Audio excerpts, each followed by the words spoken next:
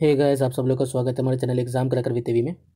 आज जो हम बात करने वाले हैं आप लोग का chapter number five that is public sector banks and cooperative banks of the subject legal and regulatory aspects of banking जैसे कि आप लोग जानते हैं जी का सेशन आप लोग का चल रहा है और एक आप लोग के लिए बहुत बड़ी खुशखबरी है और आप लोग, हो सकता है कि आप लोग के लिए कुछ नेगेटिव पॉइंट हो, क्योंकि आप लोग की तैयारी इतनी अच्छी हो चुकी थी और वेट करना सही नहीं था आप लोग के लिए। लेकिन क्या करें कोविड नाइन्टीन का जो प्रॉब्लम है, उसके कारण जो है गाड़ियाँ चलना बंद हो गया, आना जाना बंद हो गया एंड लॉकडाउन का स्थिति चल रहा है। तो उसके कारण जे को भी पोस्टपोन करना पड़ गया है और उसके फर्दर डेट्स जो हैं वो बाद में बताया जाएगा। फ़िलहाल जून के बाद ही पेपर है, जुलाई के जुलाई के आसपास ही आप लोग का पेपर रहेगा। तो उसके हिसाब से अगर देखा जाए तो आप लोग पास इनफ टाइम है अगर आप लोग प्रिपेयर नहीं किए और अगर आप लोग प्रिपेयर कर लिए तो आप लोग कोई और एग्ज़ाम की तैयारी कीजिए या फिर आराम से, थोड़ा आराम कर लीजिए। लेकिन अगर आप लोग नहीं किया तो ये आप लोग प्लस गोल्डन टाइम है। और, जैसे कि आप लोग जान रहे हैं कि मैं already legal and regulatory aspect of banking का क्लासेस स्टार्ट करवा चुका हूँ तो इससे पहले चार आप लोग की वीडियो डल चुके हैं, चार चैप्टर के। ये पाँचवा चैप्टर का है। तो चलिए स्टार्ट करते हैं हम लोग। देखिए पाँचवा चैप्टर जो है, ये public sector banks and cooperative banks के ऊपर है पूरा। पब्लिक सेक्टर बैंक्स क्या होते हैं आप लोग को? उसमें आप लोग का स्टेट बैंक ऑफ़ इंडिया आ जाता है पब्लिक सेक्टर बैंक में। और आप लोग का ये Bank of India Bank of Baroda Punjab Punjab National Bank है कैनरा बैंक ये सारे बैंक आ जाते हैं एंड रीजनल रूरल बैंक भी आ जाते हैं, ठीक है? एंड कोऑपरेटिव बैंक को अलग रखा गया है क्योंकि इसका अलग ही फंडा चलता है। इसका जो है, इसका अलग ही, इसका अलग ही एक्ट है, अलग ही इसका चीज़ रहता है, ठीक है? एक चीज़ मैं आप लोग को और बता दूँ, यहाँ एस जो है एसबीआई को बहुत लोग बोलते हैं कि पब्लिक सेक्टर बैंक से थोड़ा अलग है। मतलब वो एक पीएसबी नहीं है अजीब टाइप का। मतलब थोड़ा सा ऐसा फीलिंग रहता है कि वो कुछ स्पेशल बैंक है। तो मैं बता दूँ आप लोग को हाँ वो स्पेशल बैंक है। क्योंकि एसबीआई जो है, एक तरफ़ से आप लोग का बोला जाए तो एक रेगुलेटरी बॉडी है। क्योंकि वो रेगुलेट कर रहा है अपने सब्सिडरीज़ को। इतने सारे बैंक्स उसके नीचे काम कर रहे थे। SBI के पाँच बैंक उसके नीचे काम कर रहे थे उसकी सब्सिडरीज़ लेकिन अब जो जो उसमें SBI में मिल गई और SBI का अगर शेयर वैल्यू भी देखें तो आप लोग का गवर्नमेंट के गवर्नमेंट के पास ज़्यादा शेयर्स अगर जो है शेयर जो है SBI का गवर्नमेंट के पास ज़्यादा है।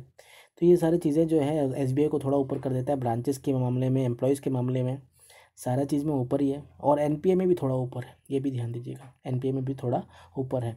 तो एक्ट की बात की जाए तो SBI जो है वो RBI को तो करता है फॉलो आरबीआई बैंकिंग रेगुलेशन को तो फॉलो करता ही है और अपने खुद के एक्ट दैट इज़ 1955 एक्ट को भी फॉलो करता है। इसके तहत भी उसको अपने आप को, इसको चलाना होता है, अपने सब्सिडरीज को संभालना होता है।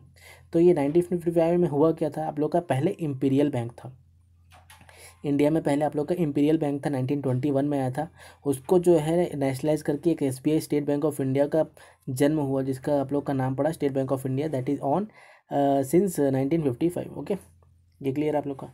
अब जो है सेक्शन नंबर थ्री की बार थ्री में आप लोग का section number three of R S B I act nineteen fifty five में इसका सब कुछ आप लोग का इसका डेफिनेशन दिया हुआ है कि कैसे इंपीरियल बैंक से आप लोग का एस बी आई में चेंज हुआ।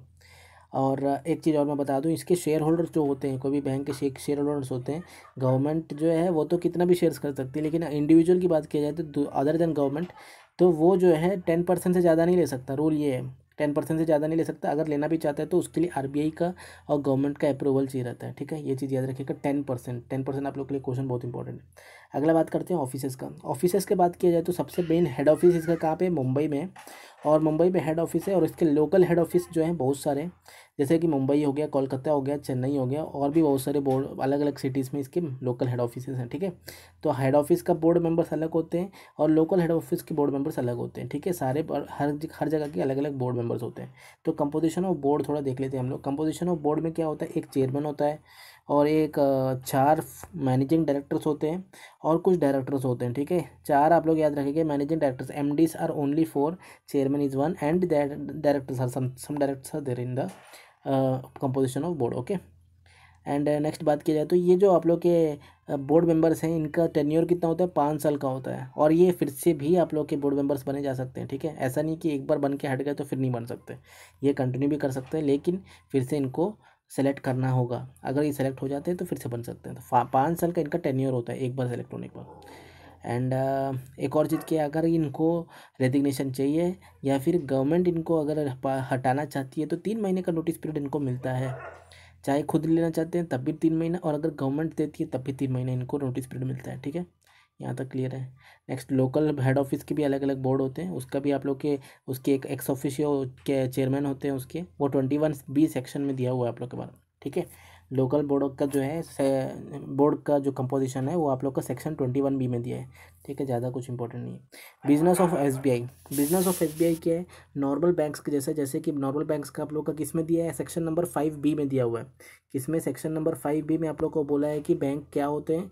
बैंक पैसा लेते हैं, गाँव, लोगों से पैसा लेते हैं और ज़रूरतमंद लोगों को लोन देते हैं लैंड करते हैं। तो ये जो है फाइव बी में दिया है, ये करता है आप लोग का एस बी आई एंड एक और आप लोग का सिक्स वन में क्या दिया है आप लोग के? अदर देन दैट जो भी काम आप लोग का बैंकिंग देखते हैं, सारा सारा काम जो है सिक्स वन में दिया है। तो ये दोनों जो है एस बी का आप लोग का बिज़नेस हो जाता है ओके नेक्स्ट आप लोग का बात करते हैं हम लोग, उसका ऑडिट्स का बहुत इंपॉर्टेंट है audits audits and accounts accounts क्या होते हैं? जब भी आप लोग का, आज क्या है आप लोग का, जब जब मैं वीडियो डाल रहा हूँ, ये थर्टी फ़र्स्ट मार्च है। मतलब आज जो है, आप लोग का क्लोजिंग ऑफ़ द ईयर है। तो इसमें क्या होता है? लेखा जोखा पूरे साल में क्या हुआ? उस चीज़ का आप लोग का ऑडिट एक ऑडिटर होता है, उसको ऑडिट करता है। और ये ऑडिटर ऐसा वैसा नहीं होता है। ये ऑडिटर को आप लोग को section number twenty six two twenty six के तहत। टू ट्वेंटी सिक्स में पूरा इसका रूल्स दिया हुआ है कम, कि आप लोग का सेक्शन टू ट्वेंटी सिक्स में पूरा रूल दिया हुआ है कि कैसा एक ऑडिटर होना चाहिए। उस हिसाब से एक ऑडिटर को रखना होता है, उस ऑडिटर जो है पूरा ऑडिट करता है और सारे अकाउंट्स को कॉपीज़ के, सारे अकाउंट्स के कॉपीज़ को आरबीआई के पास आरबीआई के पास भेजता है एंड सेंट्रल गवर्नमेंट के पास भेजता है। ये चीज़ आप लोग का ऑडिटर करता है, ठीक है? ये सारा चीज़ ऑडिटर करता है ऑडिट एंड ऑफ़ अकाउंट्स ठीक है, यहाँ क्या याद रखेंगे? थर्टी फ़र्स्ट मार्च को होता है एंड उसके अगले तीन महीने तक जो है पूरा का पूरा रिपोर्ट जाना चाहिए आरबीआई के पास एंड सेंट्रल गवर्नमेंट के पास। And section number two twenty six के अंदर जो है ऑडिटर का जो है एलिजिबिलिटी लिया है कि कैसे होना चाहिए एक ऑडिटर क्वालिफाई कितना होना चाहिए, क्या होना चाहिए। नेक्स्ट सब्सिडरीज के बारे में बात कर लें।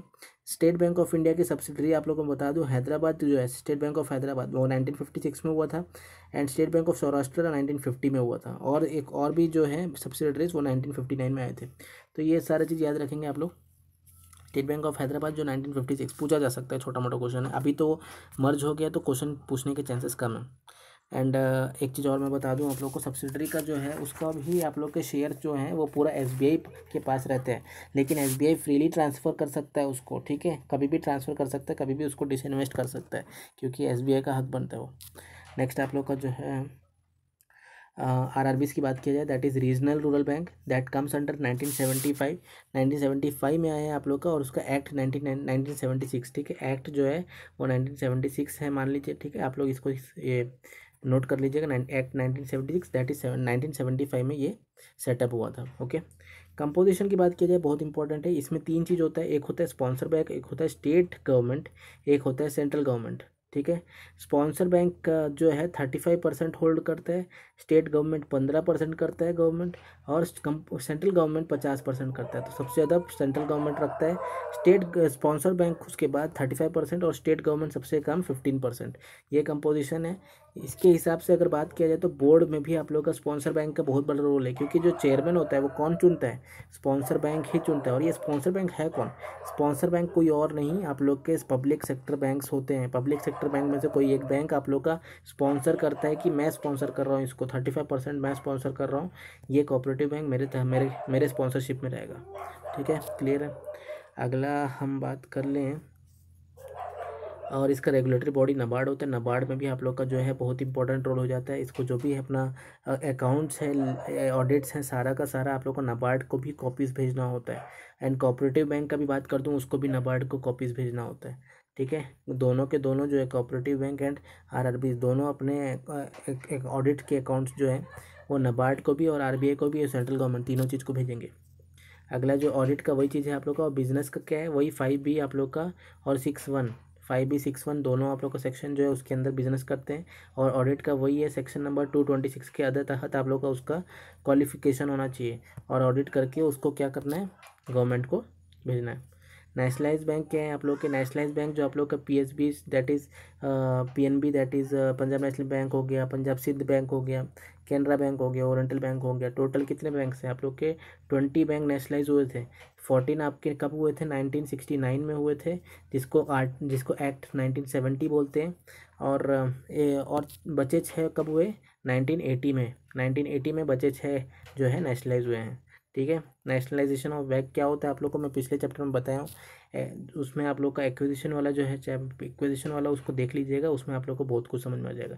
तो नेशनलाइजेशन ऑफ़ बैंक्स में आप लोग का देखेंगे नाइनटीन में हुआ है और नाइनटीन में हुआ है। अगला बात करें डायरेक्टर्स का।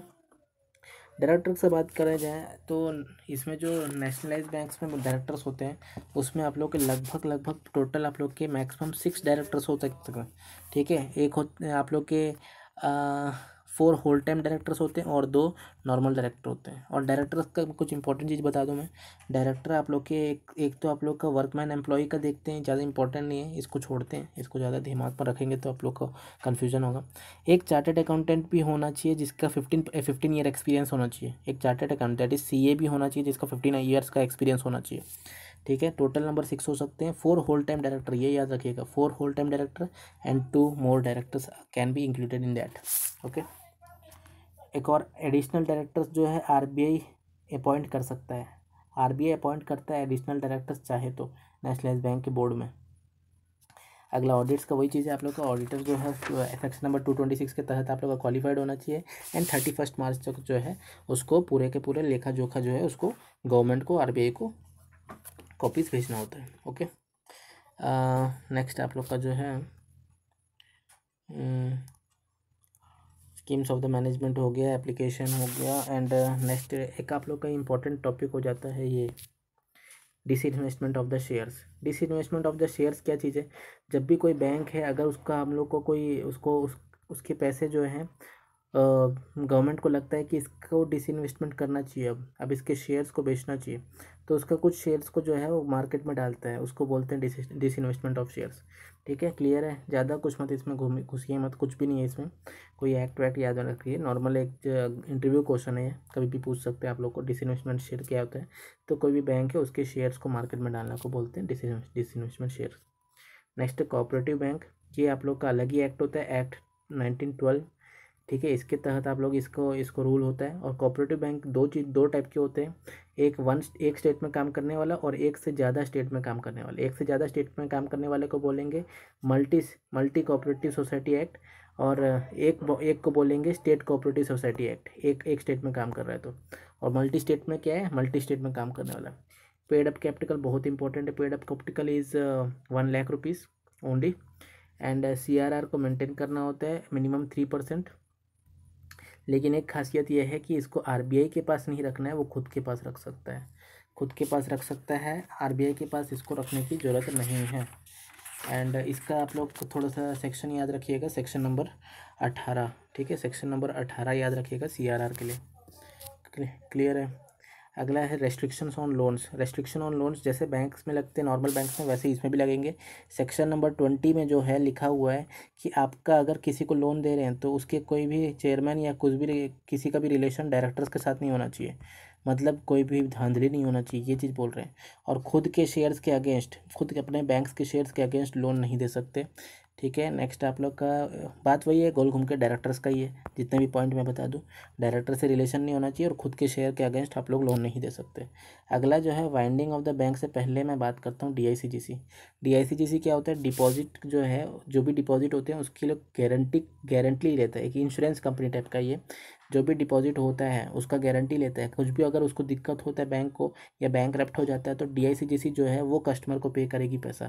पहले एक लाख था, एक लाख का इंश्योरेंस होता था मिनिमम अब जो है पाँच लाख का इंश्योरेंस होता है। और डीआईसीजीसी के लिए हर बैंक जो है प्रीमियम देता है DICGC को। और जैसी बैंक बैंक ख़राब हो जाती बैंक बर्बाद हो जाती तो DICGC जो है, हर कस्टमर के, हर कस्टमर को फाइव लाख का इंश्योरेंस जो है प्रोवाइड करती है, ठीक है?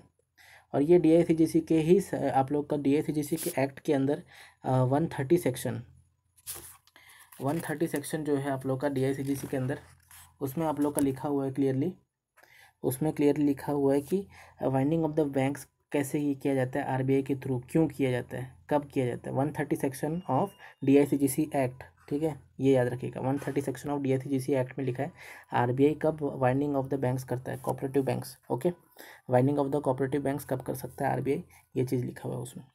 तो ये सारी चीज़ हैं इससे ज़्यादा कुछ इंपॉर्टेंट है नहीं ठीक है? इसको आप लोग देखिएगा एंड समझिएगा ओके एंड um, uh, ये हो गया आप लोग का चैप्टर नंबर फाइव हम मिलेंगे नेक्स्ट में चैप्टर नंबर सिक्स में। तब तक के लिए धन्यवाद।